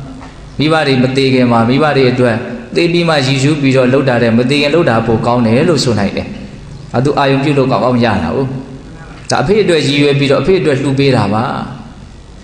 ဒါမြတ်စွာဘုရားဆုံးဖုံးပေးပြီးပြီဆိုတော့မြတ်စွာဘုရားကိုအဖေအတွက်အနုမောဒနာတရားဟောပေးပါလို့တောင်းပန်လို့အဲ့ဒါမြတ်စွာဘုရားကအဲ့ဒီတကာကြီးကိုကြည်ပြီးတော့တရားဟောဂါထာနှစ်ပုံဟောတယ်။တကာကြီးကအသက်ကကြီးလာပြီ။နော်လက်ကြီးရွယ်အိုပုဂ္ဂိုလ်တွေအတွက်အလွန်ကောင်းတဲ့ဒေသနာလို့ဆိုနိုင်တယ်ပေါ့တစ်ဆက်တည်းတွေးမိတာကကျန်တဲ့လူတွေအတွက်လည်းပဲကောင်းမှာပါပဲလို့ဘာဖြစ်လို့ဆိုကျန်တဲ့လူတွေလည်းအိုးရအောင်မှာပဲလေတကြီးရွယ်အိုကဖြစ်ရမှာပဲလေ နော်အဲ့ဒါမြတ်စွာဘုရားဘယ်လိုဟောပြလဲဆိုတော့ပန္တုပလာသောဝဒန္တိတိယမပုရိသောယမပုရိတာဇာပိယမပုရိတာပိစတေဥပဋ္ဌိတာဩယောဂမုခေစတိဋ္ဌတိပါထေယံပိစတိနဝိဇတိတဲ့ပထမဂါထာလေးอ่ะအဓိပ္ပာယ်ဘာပြောလို့ဆိုတော့တခါကြီးတဲ့ဒါနိယခုအခါမှာတွန်တင်သည်ပန္တုပလာတော်ဝ ကျွေရတော့မဲ့တေးရွက်ဝါလေးလို့အတိဖြစ်ပြီတဲ့နော်တေးရွက်လေးရင့်ပြီးတော့ဝါပြီးတော့ခဏနေရင်ကျွေတော့မယ်နော်ကျွေကနီးတေးရွက်လေးလို့ဖြစ်နေပြီတဲ့ဟုတ်တယ်တခါလေးတစ်ပင်ပေါ်ကြီးလိုက်လို့ရှိရင်တော့စိနေဆိုဆိုနုနုပြူပြူတေးရွက်တွေရှိတယ်လို့နော်အရင်ကအရွက်လေးတွေကြတော့ဘလို့ဖြစ်နေတော့ဝါချင်းချင်းနဲ့ခဏနေရင်ကျွေတော့မယ်ဆိုတာမှန်းလို့ရတယ်နော်ပန္တုပလာတော့ပါတယ်ကျွေကနီးတည့်ရွက်လေးလိုဖြစ်နေပြီတဲ့တင့်ရဲ့အခြေအနေက ယမပုရိသပိစာတေဥပတိတာတေသင်ဤဥပတိတာအနီးမှာယမပုရိသပိစာတေသင်ဤအနီးမှာယမပုရိသပိစာသေမင်းရဲ့တမန်တွေကလည်းပဲဥပတိတာဝမ်းရံပြီးတော့ချမ်းရံနေကြပြီတဲ့သေမင်းတမန်တွေကတင်သားမှာဝိုင်းရံနေကြပြီတဲ့ကြောက်တောင်ကြောက်စရာကောင်းတယ်နော်ဒီနေရာမှာသေမင်းတမန်ဆိုတာကတင်စားပြီးတော့ပြောတာပါသေခြင်းတရားကိုပြောတာပါသေရတော့မဲ့အရေးအယောင်တွေတွေ့နေရပြီမြင်နေရပြီလို့ပြောတာ ဟောသေခြင်းရဲ့အရေးအယောင်တွေတင်သားမှာဝိုင်းနေပြီဒါကြည့်လိုက်ရင်သိတယ်လေတချို့နော်သေခြင်းရဲ့အရေးအယောင်တွေဝိုင်းနေပြီအုံယောဂမုခေစာတိတ်တတိတယ်ပျက်စီးခြင်းရဲ့တကားဝမှာတင်ရောက်နေပြီဟောပြောတဲ့စကားလေးသေချာနားထောင်နော်ဘယ်တကားဝရောက်နေပျက်စီးခြင်းရဲ့တကားဝတဲ့နော်ပါတိယံပိစတိနဝိစတိအဲ့လိုတမလွန်ခကြီးကိုသွားရကနီးမှာတင့်အတွက်ရိတ်ခါကလည်းမရှိသေးဘူးတဲ့ ခကြီးကတော့သွားရတော့မယ်ဒါပေမဲ့တင့်မှာရိတ်ခါမရှိသေးဘူးတဲ့ဟောစားလေးလေးချောင်းနေပြီမလို့အလွန်ပေါ်လွင်ထင်ရှားတယ်နော်တခါကြီးတဲ့ခုချိန်မှာတင်ဟာကျွေတော့မဲ့တည့်ရွက်တည့်ရွက်လို့ဖြစ်နေပြီတင်မင်းတမန်တွေကလည်းတင်သားမှာဝိုင်းဝိုင်းလဲနေပြီဆိုလိုတာတင်မဲ့အရေးအယောင်တွေကလည်းအကုန်လုံးတင်သားမှာမြင်နေရတယ်ပေါ့ပျက်စီးခြင်းရဲ့တကားဝမှာရောက်နေပြီပျက်စီးခြင်းရဲ့တကားဝတယ်နော်ဒါပေမဲ့လို့အဲ့ဒီခကြီးကိုသွားတဲ့နေရာမှာ အာကိုအာရပြုရမယ်ရိတ်ခါတို့ကလည်းတဲ့မှာမရှိဘူးတဲ့အဲ့ရိတ်ခါတို့ဆိုတာဘာကိုပြောအောင်ဆိုတော့ကုသိုလ်ကောင်းမှုကိုပြောတာနော်ကုသိုလ်ကောင်းမှုကိုပြောတာအဲ့တော့ဒီနေမှာဦးဇင်းတို့ဒီဂါထာလေးတွေကိုငယ်ရွယ်တဲ့လူအရန်ကြီးဟိုတေကောင်ပေါင်းလည်းမဖြစ်သေးတဲ့လူတွေလည်းပဲကိုယ့်အကိုကိုင်းကြီးအောင်စဉ်းစားမယ်ဆိုရင်တော့လည်းစဉ်းစားလို့ရတာပဲဒါကကိုတွေးတဲ့တွေးပေါ်မှာမူတည်တာပေါ့နော် ဟိုမကားတွေဝမင်းကြီးတို့ဆိုလို့ရှိရင်ပိတ်သက်တို့ကြားဥပါတယ်ဆေဗင်ဖြူတွေပေါက်လာတာကိုတော့ခဏနေရင်သေရတော့မယ်လို့ဆိုသည်အထိသူ့စိတ်ထဲမှာထင်မှတ်တာသေမဲ့အရေးအကြောင်တွေးလိုက်တာနဲ့မနေနိုင်မထိုင်နိုင်ဖြစ်တယ်ပေါ့ဒါပေမဲ့တော်တော်နဲ့တော့သေသေးတာတော့မဟုတ်ဘူးနော်တော်တော်နဲ့မသေးသေးပေမဲ့လို့သေရမှာတော့လည်းပဲအသေးချာပဲပေါ့တော်တော်နဲ့မကြွေသေးပေမဲ့လို့လည်းကြွေရမှာတော့အသေးချာပဲပေါ့ဟောအဲ့ဒီလိုနီးနဲ့ကို့အတွက် ဟိုအဝင်ဝင်ညာဖြစ်အောင်တွေးမယ်ဆိုရင်လည်းတွေးလို့တော့ရတယ်ပေါ့နော်ပြီးတော့မြတ်စွာဘုရားဘယ်လိုဆက်ပြီးတော့တိုက်တွန်းတော့ဒုတိယခါထာသောကရောဟိဒီပမတနောခိပ္ပဝါယမပန္တိတောဘဝနေတန္တမလောအနေကနောဒိဗ္ဗအရိယဘူမိဥပေဟိတိတဲ့သောကရောဟိဒီပမတနောသောတွန်ထိုးသင်းသည်အတနောမိမိရဲ့ဒီပံအာကိုရာဒီဟုသောကျွန်းကိုကရောဟိပြုလောတဲ့ စောစောကစကားလေးနဲ့ဆက်ဆက်ပြီးတော့တွေးရမှာနော်တခါကြီးအသင်ရဲ့အခြေအနေကကြွေတော့မဲ့တည့်ရွက်တည့်ရွက်လိုဖြစ်နေပြီသိမဲ့အရေးရောင်တွေကလည်းအကုန်လုံးဝိုင်းဝိုင်းလဲနေတယ်အပြည့်စည်းခြင်းရဲ့တကားဝမှာတင်ရောက်နေပြီဒါပေမဲ့တင့်အတွက်အာကိုရာရိတ်ခါကလည်းမရှိဘူးတဲ့ဒါကြောင့်မြတ်စွာဘုရားဘယ်လိုဆက်ပြီးတော့တိုက်တွန်းတော့ကိုယ့်အတွက်အာကိုအာရာပြုရမယ်ကျွန်းကိုပြုပါတဲ့ကျွန်းဆိုတာကပင်လေတဲ့သမုဒ္ဒရာထဲမှာရှိတဲ့ကျွန်းဒါကိုရည်ရွယ်တာနော် ထောက်ရတီရအာကိုအာရာပြုရာကိုဖော်ညွှန်းတာပေါ့တော့ပင်လေထဲမှာတင်ပေါ်ပြက်လို့လှေမောက်လို့တော့လက်ပြကူပြီးတော့သွားရင်းနဲ့ကျွန်းလေးပေါ်ရောက်သွားတယ်ဆိုအော်တော်သေးဟဲ့မသေးဘူးဟဲ့ဟောအာကိုအာရာပြုရတယ်ပေါ့နော်အဲ့လိုပဲကိုယ့်ရဲ့ဘဝမှာကိုယ့်အတွက်မှီခိုရာကျွန်းကိုကိုကိုယ်တိုင်လုပ်ရမယ်တဲ့ကျွန်းကိုတီးဆောက်ပါလို့ပြောတာနော်အဲ့ဒီကျွန်းဆိုတာလည်းဘာကိုပြောတာတော့အဓိကကတော့ကုသိုလ်ကောင်းမှုကိုပြောတာပါပဲကုသိုလ်ကောင်းမှုထဲမှာမှ နော်အဓိကအကြဆုံးအရာကိုပြောရရင်တော့ပညာလို့ဆိုနိုင်တယ်ပေါ့နော်မဲ့ဉဏ်ပူဉဏ်တို့လိုမျိုးနိဗ္ဗာန်ချမ်းသာကိုသိနိုင်မြင်နိုင်သည့်အထိအစဉ်အတန်းအလွန်မြင်မာတဲ့ဉာဏ်ကိုရခဲ့မယ်ဆိုရင်တော့ဘယ်တော့မှမပျက်စီးနိုင်တဲ့ကျွန်းပေါ်ကိုရောက်သွားတယ်လို့ဆိုနိုင်တယ်ပေါ့အာကိုအာရာအပြုတ်အဆုံးကျွန်းပေါ့နော်အဲ့ဒါကိုဘယ်လိုဆက်ပြီးတော့မြတ်စွာဘုရားတိုက်တွန်းတော့ဆိုတော့ခိဗ္ဗံဝါယမပန္တိတောဘဝခိဗ္ဗံမြန်မြန်ဝါယမအားထုတ်လိုက်ပါတဲ့ပန္တိတောဉာဏ်ရှိသည့်ဘဝဖြစ်ပါတဲ့ဟော မြန်မြန်ဆန်ဆန်အားထုတ်ပြီးတော့အသိဉာဏ်ရှိတဲ့လူတစ်ယောက်ဖြစ်အောင်လုပ်လိုက်ပါလို့ပြောတာနော်ဒါကတော့ဒကာဓမ္မတို့ဦးဇင်းတို့အခုလုပ်နေတဲ့လုပ်ငန်းနဲ့တော့အဝင်ဝင်ကြမယ်နော်မြန်မြန်ဆန်ဆန်စူးစမ်းပြီးတော့ကိုယ့်ကိုယ်ကိုမှန်မှန်ကန်ကန်သိတဲ့လူတစ်ယောက်ဖြစ်အောင်လုပ်လိုက်ပါလို့ပြောတာနော်ဒီစကားကအများကြီးအခြေချက်မဆိုချက်လို့မရဘူးလားရတယ်နေတန္တမလောအနေကနောတဲ့နေတန္တမလောတဲ့နော်အညစ်အကြေးတွေကိုဖယ်ထုတ်ပြီးတော့အနေကနောအညစ်အကြေးကင်းသည်ဖြစ်၍ဒိဗ္ဗံအရိယဘူမိန်ဥပိဟိတိ အရိယဘူမိန်အရိယာတို့သာနဲ့ရောက်ရဖြစ်သောဒိဗ္ဗံသုဒ္ဓဝါဒ၅ဘုံလို့ဆိုတဲ့မြင့်မြတ်တဲ့ဗြဟ္မပြည်ကိုဥပိဟိတိသင်ကပ်ရလိမ့်မယ်ရောက်ရလိမ့်မယ်တဲ့ဒါကသူအနာဂံဖြစ်အောင်ဟောတာမြတ်စွာဘုရားသူ့နော်ကိုကိုကိုမြန်မြန်စ조사ပြီးတော့အတိညာဏ်ရှိအောင်လှုပ်လိုက်လို့အတိညာဏ်ရှိလာပြီဆိုလို့ရှိရင်တော့မကောင်းမှုတွေကိုဖယ်ခွာနိုင်လိမ့်မယ်အဲ့လိုဆိုလို့ရှိရင်မကောင်းမှုဆိုတဲ့အညီအကြီးကင်းလိမ့်မယ်အညီအကြီးကင်းလို့ရှိရင်သင်ဟာဖြူရှင်တဲ့တန်ရှင်းတဲ့ပုဂ္ဂိုလ်တွေရောက်ရဘုံလို့ဆိုတဲ့ နောက်သုဒ္ဓဝါဒ၅ဘုံဆိုတာရှိတယ်မြမပြည်မှာဟုတ်လားသူကအရိယာပုဂ္ဂိုလ်တွေရောက်ရတဲ့ဘုံဌာနအဲ့ဒီကိုရောက်လိမ့်မယ်လို့မြတ်စွာဘုရားသူ့ဟောတာအဲ့တော့ဒီကထာလေးကလည်းပဲပိဿပေါင်းသူတော်အောင်တို့တေချာစီစစ်ကြည့်မယ်ဆိုရင်ရှေ့ကဟောလိုက်တဲ့ဂါထာနဲ့အခုနောက်ဟောတဲ့ဂါထာကိုဆက်ဆက်ပြီးတော့တွေးကြည့်မယ်ဆိုလို့ရှိရင်လူတိုင်းဒီတုံလို့ခြောက်ချားပေါ်ရာအခြေအနေကိုရင်ဆိုင်ကြရမှာဖြတ်တန်းကြမှာအဲ့ဒါကိုကိုကကြိုတင်နားလည်ပြီးတော့ စောသီးတွေကစပြီးတော့အစဉ်ပြေအောင်ဘလို့စီမံထားမလဲဆိုတာရဲ့အဖြေကိုဒီထဲမှာတွေ့ရတယ်ပေါ့ဟုတ်လားအသေးရလေးတည်းရလို့ကျွေးရတော့မဲ့အနေအထားဆိုတာကယောက်ျားဥမာပဲလေနော်သေမဲ့အရေးရောင်သေမင်းရဲ့တမန်တွေဝိုင်းဝိုင်းလင်းနေတာကိုလည်းကြုံကြရအောင်ပါပဲလေ။ပျက်စီးခြင်းရဲ့တကားဝါကိုလည်းတကားဓမ္မတို့ဦးဇင်းတို့လည်းစိုက်ရောက်ကြရအောင်ပါပဲဟုတ်လား။အဲ့ဒီချိန်မှာကိုယ့်အတွက်အာကိုရာရိခါမပါဘူးဆိုရင်တော့ဒါအရန်ကိုပဲတုံလို့ခြောက်ချရကောင်းတဲ့အနေအထားတစ်ခုဖြစ်မယ်ပေါ့နော်။ အဲ့ဒီလိုမျိုးမဖြစ်အောင်ကိုယ့်အတွက်အာကိုအာရာကျွန်းကိုလောက်ရမယ်။အာကိုရှာရမယ်ပေါ့။အဲ့ဒီအာကိုကိုဘယ်လိုရှာရမလို့ဆိုမြန်မြန်ကြိုးစားတဲ့ခိပ္ပံဝါယာမပန္တိတော်ဘဝမြန်မြန်ကြိုးစားပြီးတော့ဉာဏ်ရှိတဲ့လူဖြစ်အောင်လုပ်တဲ့အဲ့တော့ဒါကဘာပြောတာတော့ဉာဏ်ရှိတဲ့လူဆိုတာအဓိကတော့ကိုယ်ဘဝကိုယ်ခန္ဓာရဲ့မတည်မြဲတဲ့အိဋ္ဌသဘော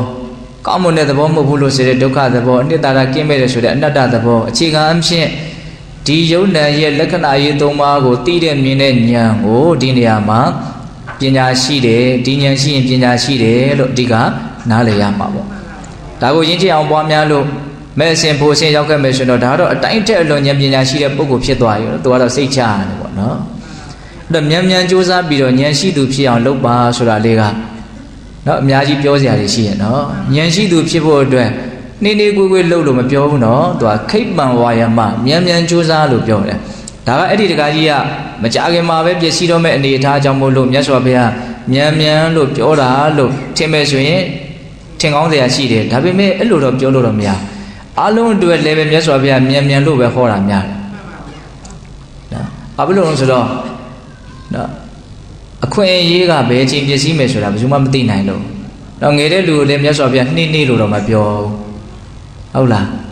အမြန်မြန်ပဲပြောတယ်နော်အခုလောဆယ်ဦးဇင်းတို့နာဂတုတ်တန်ဆိုတာကိုဟောပြနေတယ်အဲ့ဒီထဲမှာမရောက်ဘူးတဲ့ရက်ဒေတာကိုရောက်အောင်သွားရမယ်ဆိုတဲ့အင်္ဂါရက်တစ်ခုပါတယ်အဲ့ဒါမရောက်ဘူးတဲ့ရက်ဒေတာဆိုတာဘာလဲနိဗ္ဗာန်ချမ်းသာကိုပြောတာတဲ့အဲ့ဒီမရောက်ဘူးတဲ့ရက်ဒေတာကိုရောက်အောင်သွားရမယ်ဆိုတဲ့နေရာမှာဘယ်ပုံဘယ်နည်းသွားရမလဲဆိုတော့မြတ်စွာဘုရားအဲ့ဒီထဲမှာတန်ခိတ်ပင်ညီဝကန္တာဟောတိမြန်မြန်သွားရမယ်လို့ခိတ်ပင်ညီဝ အစောတလျင်ဆိုတဲ့အသုံးတော်ကိုသုံးတယ်ပေါ့နော်ခုလက်ဒီမှာဦးဇင်းတို့ခိတ်ပံဝါယမပန္တိတော်ဘဝမြန်မြန်အားထုတ်ရမယ်တဲ့ဉာဏ်ရှိတဲ့လူတယောက်ဖြစ်အောင်မြန်မြန်အားထုတ်ရမယ်တလုံးချင်းစီမှာလေးနဲ့တဲ့အတိပ္ပယ်တွေးစရာတွေအများကြီးရှိရနော်အေးအဲ့လိုမျိုးကိုစူးစမ်းမယ်ဆိုလို့ရှိရင်နေတန္တမလောအညစ်အကြေးတွေကိုပယ်ထုတ်နိုင်လိုက်မယ်တစတစနဲ့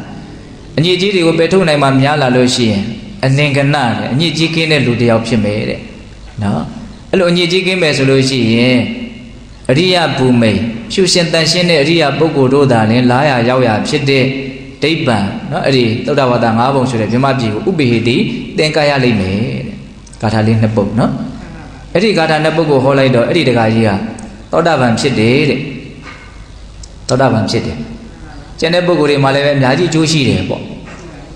အဲ့ဒါနဲ့နောက်နေ့ရောက်တော့သားတွေသမီးတွေကအားမရသေးဘူး တော့သူတို့ကတော့ဘလို့တရားတို့တရားမြတ်တွေရထားတယ်ဆိုတာကိုတော့စာထဲမှာတော့မတွေ့ရသေးဘူးပေါ့နော်နောက်နေ့အဲ့ဒါဘုရားမှုရှိတဲ့တန်ဃာတွေကိုထပ်ပင်ပြီးတော့ဆွန့်ကပ်ပြန်တယ်စမုံပေးပြီးပြီဆိုတော့သူတို့အဖေကိုပဲဥတည်ပြီးတော့မြတ်စွာဘုရားကိုရှောက်ပြန်တယ်မြတ်စွာဘုရားဒါတပည့်တော်တို့ရဲ့ဖခင်ကြီးကိုရည်ရွယ်ပြီးတော့ဆွန့်ကပ်တာပါဒါဆွန့်မုံပေးပြီးပြီဆိုတော့အဖေအတွက်တရားဟုတ်ပေးပါအောင်လို့ထပ်ပြီးတော့ခိုင်းတယ်အလွန်လိမ်မာတဲ့ဉာဏ်ရှိကြတဲ့သားသမီးတွေလို့ဆိုရမယ်နော်အဲ့ဒါနဲ့မြတ်စွာဘုရားကထပ်ပြီးတော့ဂါထာနှစ်ပုဒ်ထပ်ဟောတယ် အဲ့ဒီဂါထာနှစ်ပုဒ်ကလည်းပဲအရင်နေ့ကဟောခဲ့တဲ့ဂါထာနှစ်ပုဒ်နဲ့အတိဘယ်ကတော့အတူတူပဲလို့ပြောလို့ရတယ်ဒါပေမဲ့ဝဟရနေရာမှာအတုမရှိကျွမ်းကျင်တော်မူတဲ့အတွက်ကြောင့်မြတ်စွာဘုရားဘလို့လေးအပြောင်းလဲလုပ်ပြီးတော့ဟောထားတယ်လေစိတ်ဝင်စားစရာကောင်းတယ်နော်ဥပနိတဝယောဇဒါနိတိတံပယာတောတိယမတတန္တိကံ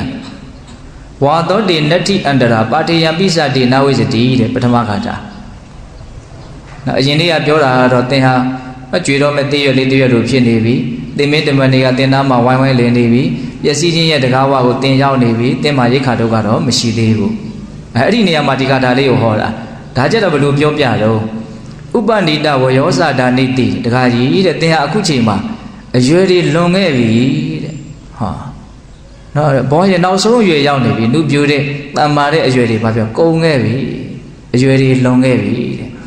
အမလွန်သေးလေလွန်ရအောင်ပါပဲနော် လွန်ရတယ်ဆိုတော့လည်းကံကောင်းမှလွန်ရမှာနော်တချို့အရွယ်မလွန်ခင်သေးကြတာလည်းရှိတယ်ဟုတ်လားအေးဥပဏိတဝယောဇဒာနိတိသင်ရဲ့အရွယ်ဟာလွန်ခဲ့ပြီတဲ့နောက်ဆုံးအရွယ်ရောက်နေပြီတံပယာတုတ္တိယမတ္တတန္တိကံယမတ္တသေမင်းရဲ့တန္တိကံထံကိုတံပယာတော့သင်ဟာတရွေ့ရွေ့နဲ့ချင်းကပ်နေရပြီတဲ့ဟောချောင်းเสียကောင်းအောင်ပြောနိုင်တယ်နော် သေမင်းရဲ့တမန်တွေကတင့်ကိုဝိုင်းဝိုင်းလည်နေပြီလို့မနေ့ကပြောခဲ့တဲ့ဂါထာတွေကအလှုပ်ပါတာအခုကကျတော့ဘလို့ဖြစ်နေတော့သေမင်းဒီကိုတင်ဟာတရွေ့ရွေ့ချင်းကပ်နေရပြီတဲ့ယမတ္တသေမင်းရဲ့တန်တိကအထံကိုတံပယာတော့ဒီပွားနေရတယ်ချင်းကပ်နေရတယ်ရောက်တော့မယ်တဲ့ဝါတော့ဒီနတ္တိအန္တရာနော်အန္တရာအချားသည်အန္တရာအချား၌ဝါတော့နားပြီးတော့နေရချင်းဆိုတာနတ္တိမရှိဘူးတဲ့ဒီစကားလေးကတော့နည်းနည်းလေးရှင်းပြကြလို့လေနော်တင့်အတွက် နော်လန်ခုလက်အကြအမှာနားပြီးတော့နေရတယ်ဆိုတာမျိုးမရှိဘူးတဲ့ဆိုကြပါစို့ဗဂတိခရီးသွားတယ်ဆိုတာကမောလို့ရှိရင်နားလို့ရတယ်နော်ရောက်ခါနီးမှာအာခဏလောက်နားအောင်မယ်ဆိုနားလို့ရတယ်နော်အကြကာလလေးမှာနားမယ်ဆိုရင်နားလို့ရတယ်နော်တေကောင်မောလည်းဖြစ်လို့ခဏနေသေးတော့မဲ့လူတယောက်ကိုတေရင်တရားကိုခဏဆိုင်မှာအောင်ကျုပ်နားပါအောင်မယ်လို့လုပ်လို့မရဘူးဒါကိုပြောတာသူကနော်ခဏလေးနေပါအောင်လို့ခွင့်တောင်းလို့မရဘူးနားနေချိန်မရှိဘူးပေါ့ နော်ဂျားကာလဆိုတာမရှိဘူးသေပြီဆိုတာနဲ့တန်းပြီးတော့ကံစီမာယာဘဝတစ်ခုကိုရောက်ရမယ်ပေါ့အဲ့ဒီကြတော့မှကောင်းမြတ်တဲ့အမှုတွေကိုပြုပြီးတော့အများကြီးပြင်ဆင်ခြင်းပါသေးတယ်ဆိုလို့အချိန်မရဘူးဘောဆိုလိုတာကနော်ဝါသောတိနတ္တိအန္တရာဂျားကာလမှာနားဖို့ဆိုတာမရှိဘူးဆိုတာတောက်လျှောက်ဒါတွေကဆက်ပြီးတော့ဖြစ်သွားမယ်ဆိုတဲ့အတိတ်ပဲကိုပြောတာ နော်ဒီဥစ္စာကတော်တော်လေးနဲ့တယ်လို့အရင်ထင်ပါတယ်နော်ဒါကတေဂာနီအနေထားလေးကိုမှန်းကြည့်ပြီးတော့ဒီအိဗယ်လေးတွေကိုနားထောင်မှပို့ပြီးတော့ပုံပေါ်မယ်ဟုတ်လားအရွယ်တွေကလွန်ခဲ့ပြီသင်မင်းဒီကိုတရွေ့ရွေ့နဲ့ချင်းကပ်နေရပြီဟုတ်လားကြားထဲမှာနားဖို့ဆိုတာအချိန်မရှိဘူးဒလဇက်ကြီးဒီခီးကိုသွားနေရတယ်ပေါ့ဒါပေမဲ့သင်ကိုကြည့်လိုက်တော့ရိတ်ခါရှိလားဆိုတော့မရှိဘူးတဲ့ပါတိယပိစတိနာဝိစီတိအဲ့ဒါတော့ပြန်ပါလာတယ်ရိတ်ခါလည်းမရှိဘူး ဒါကြောင့်ထပ်ပြီးတော့မြတ်စွာဘုရားတိုက်တွန်းတယ်သောကရောဟိဒီပမတနောခိပ္ပဝါယမပန္တိတောဘဝနေဒန္တမလောအနေကနောနပုဏ္ဏဇာတိစရံဥပေဟိတိကိုယ့်ရဲ့မိခိုရာအားထားရာကျွန်းကိုလောက်ပါမြန်မြန်ဆန်ဆန်အားထုတ်ပြီးတော့အသိဉာဏ်ရှိတဲ့လူတယောက်အမှန်သိတဲ့လူတယောက်ဖြစ်အောင်ကြိုးပမ်းပါဒါဆိုလို့ရှိရင်အညီအကြီးတွေကိုဖယ်ထုတ်ပြီးတော့အညီကြီးအညီအကြီးကင်းတဲ့လူတယောက်ဖြစ်လိမ့်မယ်အဲ့လိုအညီအကြီးကင်းမယ်ဆိုလို့ရှိရင်နပုဏ္ဏဇာတိစရံဥပေဟိတိ ဇာတိစရံနော်ပုဏ္ဏဆိုတပံပေါ့နော်ဇာတိစရံမွေးဖွားရတဲ့အဖြစ်အိုမင်းရတဲ့အဖြစ်ကိုနဥပေဟိတိဘယ်တော့မှသင်ရောက်မှာမဟုတ်ဘူးတဲ့အဲ့ဒါတော့ယဟန္တာဖြစ်အောင်ဟောတာလို့ဆိုတယ်တဲ့ဟောခုနတော့ကသူကအညီကြီးကင်းလို့အညီကြီးမရှိဘူးဆိုရင်သင်ဟာအရိယာတို့ရဲ့ပြောချင်ရာနောက်သုဒ္ဓဘာသာ၅ဘုံကိုရောက်လိမ့်မယ်လို့ပြောတာအခုကကြတော့သင်အညီကြီးကင်းသွားလို့ရှိရင်တပံဇာတိ နော်အိုရတယ်ဆိုတဲ့မွေးဖွားရတယ်ဆိုတဲ့အိုရတယ်ဆိုတဲ့ဇာတိစရာသဘောကိုတင်ထပ်ပြီးတော့ရောက်ရအကြောင်းမရှိဘူးဆိုတာဟောအတန်စရာဇေယျတခါတည်းပြတ်သွားမယ်ဆိုတဲ့အဓိပ္ပာယ်ကိုပြောတာပေါ့နော်အဲ့တော့ဦးဇင်းတို့ဒီနေရာမှာပြောရင်တာကမြတ်စွာဘုရားရဲ့နော်စကားအတုံးနှုံးပေါ့နော်တလုံးချင်းစီကိုတည်တည်ချာချာစစ်စစ်ပေါက်ပေါက်လေ့လာကြည့်မယ်ဆိုလို့ရှိရင်ဟောတကယ်ထိတ်လန့်စရာကောင်းတဲ့ အခြေအနေကိုထိတ်လန့်တဲ့စိတ်ဖြစ်အောင်မြတ်စွာဘုရားဟောပြနိုင်တယ်ဆိုတာလေးပါပဲဟုတ်လားခုသုံးနှုံးသွားတာကချုံပြီးတော့ပြောမယ်ဆိုရင်တခါကြီးသေတော့မယ်တဲ့အတွက်အာဟုကလည်းဘာမှမရှိဘူးလို့ပြောလိုက်ဖို့ပါပဲဟုတ်လားသို့တော့ဒေဂာနီအနေအထားလေးကိုအများကြီးပုံပေါ်အောင်ပြောတာပေါ့နော်အဲ့ဒီအခြေအနေလေးတွေကထိတ်လန့်မှုတန်ဝေကကိုရနိုင်စရာအကြောင်းရှိတယ်ပေါ့ဒါကြောင့်တတိကထာလေးကိုအရင်ကပြောခြင်းတယ်ဆိုတာအဲ့ဒါကိုပြောတာဟုတ်လားအဲ့ဒါနဲ့အဲ့ဒီဂါထာလေးနှစ်ပုဒ်ကို နောက်ဒုတိယနေ့မှာဆက်ပြီးတော့မြတ်စွာဘုရားဟောပြတော့တခါကြီးကအနာဂံဖြစ်တယ်တဲ့ဟောနောက်အနာဂံဆိုတော့ဒေါသလုံးဝမရှိတော့ဘူးကာမရာဂတွေဘာတွေမရှိတော့ဘူးနောက်ဘဝတဏနည်းနည်းပဲကြံတော့တယ်ပေါ့ဒါသိရင်ပြမဖြစ်မှာအဲ့ဒီတခါကြီးကဟုတ်လားတော့ဒါကဘယ်မှာပါတော့လို့ဆိုလို့ရှိရင်ဦးဇင်းတို့မလဝတ်ထဲမှာသူ့ကိုမှတ်တမ်းတင်ထားတာသူအညီအကြီးဆိုတဲ့စကားလေးဒီကထားထဲမှာပါလို့မလဝတ်ထဲကိုထည့်ထားတာဟဟုတ်လားဒါကြောင့်ဦးဇင်းတို့ပေးတဲ့ပေါင်းတော်အောင်တို့ ဒီဓမ္မပဒပါဠိတော်မှာလာရှိတဲ့နော်ဂါထာလေးတွေပါဠိကဗျာလေးတွေဟာနော်ဘဲဆုံတောင်းဆုံရှုထောင့်ဆုံကနေပြီးတော့မြတ်စွာဘုရားဟောတာနော်တွေ့ကြုံရတဲ့ဒီအခြေအနေအရရက်ကိုပဲအခြေခံအကြောင်းခံပြီးတော့ဟောတဲ့ဒေသနာဖြစ်တဲ့အတွက်ကြောင့်နော်ဒေသနာတွေကဟိုအယောင်မျိုးစုံနဲ့ပန်းပုံလိုဖြစ်နေတယ်ပေါ့အယောင်မျိုးစုံအနှံ့မျိုးစုံနော် ဟောတော့ तू ကအခြေခံအကြောင်းတရားမတူညီတာတွေကိုပဲအခြေခံပြီးတော့ဟောတဲ့ဒေသနာဖြစ်လို့ပေါ့ဟုတ်လားနော်သောတော်တော်ကဟောတဲ့ဒေသနာနဲ့ခုဟောတဲ့ဒေသနာနဲ့အဓိပ္ပာယ်ချင်းတူလားမတူနော်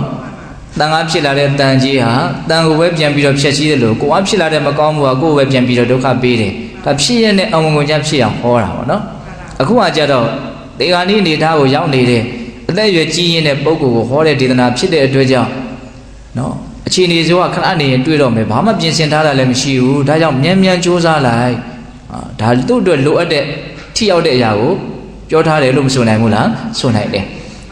ဒါကအသက်ကြီးတဲ့လူတွေအတွက်လို့တည်းအသေးပြောလို့တော့လည်းမရဘူးလို့ဦးဇင်းထင်တယ်နော်အောင်ဆိုငယ်တဲ့လူတွေကကြိုးပြီးတော့တိထားမယ်ဆိုရင်ပိုတောင်းကောင်းသေးတယ်ဟောတော့ဒီအခြေအနေဆိုကြီးကကိုလည်းပဲရောက်အောင်ပါမယ်လေဟုတ်လားစောတော်စီတွေကပို့ပြီးတော့တိထားတယ်ဆိုလို့ရှိရင်ဒါပို့ပြီးတော့ကိုယ့်အတွက် နော်အခွင့်အရေးပို့ပြီးတော့ရှိတာပေါ့နော်အဲ့တော့ဒီနေ့ဘာဘူးလို့ဦးဇင်းကဒီဓမ္မပဒဂါထာလေးတွေကိုပြောခြင်းစိတ်ပေါက်ရတော့ဆိုတော့အဲဓမ္မပဒဂါထာလေးတွေကိုဦးဇင်းတို့ကိုယ်၌ကလည်းပဲအများကြီးသဘောကျတယ်ပေါ့အော်ဒါကြောင့်မလို့ခန့်ငယ်ငယ်တုန်းကစပြီးတော့ဒီဓမ္မပဒဂါထာတွေကိုအများကြီးအလွတ်ရအောင်ကြက်ဖူးတယ်ပေါ့ဒီပြင်စာတဲ့ဒီဓမ္မပဒဂါထာတွေကိုပို့ပြီးတော့စိတ်ထဲကနှစ်သက်တယ်ပေါ့အဲ့ဒါနေ့လေတုန်းကစာအုပ်တုပ်ကိုဖတ်လိုက်တော့ အဲ့ဒီဓမ္မပဒအကြောင်းတွေကိုရေးထားတယ်ရေးထားတော့အော်တော်တော်အစင်လာကြီးတဲ့ဒီဓမ္မပဒဂါထာတွေပါလားလို့အဲ့တော့ဒီတရားအထုတ်ကြတဲ့နောက်တရားဓမ္မတွေထဲမှာငယ်ရွယ်တဲ့လူတွေပါတယ်နော်အဲ့တော့အဲ့ဒီလူတွေအတွက်နည်းနည်းဟောခြင်းစိတ်ပေါက်သွားတယ်ပေါ့ဒါလေးတွေကိုဆက်ပြီးတော့လေ့လာစေခြင်းတော့နော်အဲ့ဒီဓမ္မပဒနဲ့ပတ်သက်ပြီးတော့ဦးဇင်းတို့ဟိုဘာသာတွေအသီးသီးပြန်ထားတာတွေရှိတယ်အများကြီးပြန်တာကဘာမှာအများကြီးပြန့်တယ်ပေါ့ဒီဒီဒီကျမ်းစာလေးอ่ะ တယောက်ဆိုလို့ရှိရင်ဘယ်လိုပြောတာတော့ဆိုရင်ဘယ်အချိန်မှာပဲဖြစ်ဖြစ်ဒီစာအုပ်လေးအသေးသေးလေးတော့ဘာမှရှိရှိဝေးဝေးဟောထားတာလည်းမဟုတ်တူတူလေးတွေကြီးပဲဒါပေမဲ့ဘယ်အချိန်ပဲဖြစ်ဖြစ်လှမ်းကြည့်လိုက်ဒီစာအုပ်ကိုမျက်စိရှိရောက်နေတဲ့အပိုက်ကိုဖတ်လိုက်ဘာလို့မရွေးချယ်ပဲနဲ့တွေ့တဲ့အပိုက်ကိုဖတ်လိုက်ရင်ကိုပဲကိုယ့်အတွက်ဟိုရှုထောင့်တစ်မျိုးမျိုးကနေပြီးတော့တော့အတိညာကိုရသေးတာတော့၎င်းငြိမ်းအေးမှုကိုရသေးတာတော့၎င်းဟုတ်လားအကျက်တည်မင်္ဂလာရှိဖို့တော့၎င်းကောင်းတာတစ်ခုခုတော့ तू ကပေးကိုပေးမယ်အဲ့ဒါကိုပြောတာ အဲ့ဒါကိုကိုကတကယ်လို့ဩအစအဆုံးစနစ်တကျလေ့လာမယ်ဆိုရင်ဩဘယ်ဟာလေးကတော့ငါနဲ့အရန်တိုက်ဆိုင်တယ်ဒါလေးကတော့ကောင်းလိုက်တာအဲ့လိုမျိုးဖြစ်မယ်ဆိုရင်ဒါကိုအရကျက်ပြီးတော့မြန်စောင့်ထားမယ်ဆိုရင်အများကြီးကျိုးရှိနိုင်တယ်ပေါ့နော်ဟောတခါတလေဦးစင်းကစဉ်းစားတာပေါ့နော်ဟိုတချို့ရွတ်ကြတာဖတ်ကြတာတွေဝါသနာပါတာရှိတယ်အဲ့ဒါဒီမကောင်းဘူးလို့မဆိုလိုပါဘူးတချို့ရွတ်နေကြတာတွေကနားမလဲပဲနဲ့ရွတ်နေကြတာတွေရှိတယ်နော်ဒါတချို့ကြတော့လည်းပဲ အစီဝါဖြစ်တယ်ဘေးကင်းတယ်ရန်ကင်းတယ်ဆိုတဲ့မျှော်မှန်းချက်လေးနဲ့ကြိုးကြတာကောင်းပါတယ်ကောင်းတဲ့အလုပ်ပါပဲဟုတ်လားသို့တော့ဒီလိုအနှစ်အသားရှိတာလေးတွေကိုရအောင်ကြည့်ပြီးတော့စဉ်းစားဆင်ခြင်ဖို့ရွတ်ကြမယ်ဖတ်ကြမယ်ဆိုရင်ဒါကပို့ပြီးတော့အဓိပ္ပာယ်ရှိမယ်လို့ထင်တယ်ပေါ့နော်အချိန်ကုန်ရတာချင်းအတူတူဒါကပို့ပြီးတော့တန်ဖိုးပိုကြီးမယ်လို့ထင်တယ်ပေါ့ဟုတ်လားဟောဆိုတော့ဒါနားလေပြီးတော့မှကြိုက်ပြီးတော့မှရွတ်မှာ哦ဟုတ်လားဩဦးဇင်းတို့ နိဒာနဘဂတန်ယုတ်ပါဠိတော်ထဲမှာနဲ့တူပါရဲ့ဝိဇ္ဇာပြည့်စရာသင်္ခါရသင်္ခါရပြည့်စရာဝိညာဏအစရှိတဲ့ပြိဿသမုပ္ပါဒေသနာတော်ပေးတယ်လို့သိရနော်အဲ့ဒါကိုမြတ်စွာဘုရားကယဟန်တော်တစ်ပါးကရွတ်နေတာအဲ့ဒီဟာကိုရွတ်တာရွတ်တော့မြတ်စွာဘုရားချီးမွမ်းတာဟုတ်တယ်တဲ့ရွတ်ချင်လို့ရှိရင်အဲ့ဒါမျိုးရွတ်ရတယ်ပေါ့ဒါအလွန်အကျိုးစီးပွားနဲ့ဆက်ရှင်တယ်ပေါ့ပြိဿသမုပ္ပါဘာလို့မြတ်စွာဘုရားအဲ့ဒါကိုရွတ်ခိုင်းတယ်လဲ ရွတ်ဆိုရင်းနဲ့လေးနဲ့တဲ့အဓိပ္ပာယ်တွေကိုနားလည်ပြီးတော့ဘောတန်တရားကလွတ်မြောက်တဲ့အထိကောင်းကျိုးချမ်းသာကိုရသွားစေနိုင်လို့ဒါမြတ်စွာဘုရားအဲ့ဒီထဲမှာတိုက်တွန်းထားတဲ့နောက်အခြေအနေကိုအကဲခတ်ရတာကဘေးရန်ကင်းဖို့ဆိုတဲ့ရည်ရွယ်ချက်လောက်နဲ့စီးပွားဖြစ်ထွန်းဖို့ဆိုတဲ့ရည်ရွယ်ချက်လောက်နဲ့ရွတ်ခိုင်းတာတော့လုံးဝမဟုတ်ဘူးဟုတ်လားဘဝရဲ့အကြောင်းခန္ဓာရဲ့အကြောင်းကိုမှန်မှန်ကန်ကန်နားလည်ပြီးတော့ဒီဆင်းရဲလာတဲ့အနေအထားကနေပြီးတော့လွတ်မြောက်ဖို့ဆိုတဲ့ရည်မှန်းချက်နဲ့နာလည်းရွတ်ခိုင်းတာပဲဟုတ်တယ်မဟုတ်လား အဲ့တော့အဲ့ဒီပရိစ္ဆေဘုဘဒေသနာတွေဆိုတော့ရရတဲ့လူများပါတယ်နော်အေးအခုဒီကာထာလေးတွေကြတော့တမျိုးတစ်ပါလားတော့ထူးခြားတဲ့သဘောစမ်းကြည့်တဲ့သဘောတချို့ကကြတော့လည်းပဲအမှုပညာဆန်းဆန်းလှလှပပလေးပြောတာလေးတွေလည်းရှိတယ်ဘက်စုံတောင်းဆောင်ကတော်တော်စိတ်ဝင်စားတယ်ကောင်းတယ်ပေါ့နော်အဲ့တော့ဒီဓမ္မပဒပါဠိတော်နဲ့ပတ်သက်ပြီးတော့အဲ့လိုလေးတွေနော်ပြောခြင်းလို့လည်းပဲဒီကာထာလေးတွေကိုပြောဖြစ်တယ်ပေါ့နော်အဲ့တော့ဦးဇင်းတို့ပြောရင်းနဲ့တဏှာကြီးပြည်တော်မယ်နော်အေးအဲ့ တော့ဒီကနေ့ပြောလိုက်တဲ့အကြောင်းအရာကဘာတော့ဓမ္မပဒပါဠိတော်မှာလာရှိတဲ့ကာထာလေးတွေအထူးသဖြင့်မလဝက်မှာလာရှိတဲ့ကာထာ၅ဘုတ်တောင်ဦးဇင်းပြောလိုက်တယ်ဟုတ်လားအေးအသက်ကြီးတဲ့ဒကာကြီးတွေဒကာကြီးတွေဒကမာကြီးတွေအတွက်နောက်နောက်ပိုင်းလို့ပြောလို့ရတယ်ဟုတ်လားနော်တန်ခါဖြစ်လာတဲ့တန်ကြီးဟာတန်ကိုပဲပြန်ပြီးတော့ဖြည့်ဆည်းတယ်လို့ကိုယ်ကဖြစ်လာတဲ့မကောင်းမှုဟာကိုယ်ပဲပြန်ပြီးတော့ဒုက္ခပေးမယ်ဆိုတာကတော့ကြီးသုံးငယ်သောနော်မရွေးစဉ်းစားဆင်ခြင်ကြကောင်းတယ်ပေါ့နော်အေးအဲ့တော့ဘာပဲပြောပြော မြတ်စွာဘုရားရဲ့တရားဒေသနာတွေကိုနာရတယ်ကြားရတယ်ဆိုတာအများကြီးစိတ်ကိုအေးချမ်းစေတယ်နော်အတိအမြင်တစ်မျိုးထူးထူးခြားခြားမိမိတန်တန်မှာဖြစ်ပေါ်စေတယ်ဒါကြောင့်တရားအထုတ်နေတဲ့အချိန်မှာလည်းပဲကြိုးကြကြိုးကြနော်တရားဒေသနာတွေကိုနာတာစိတ်ကို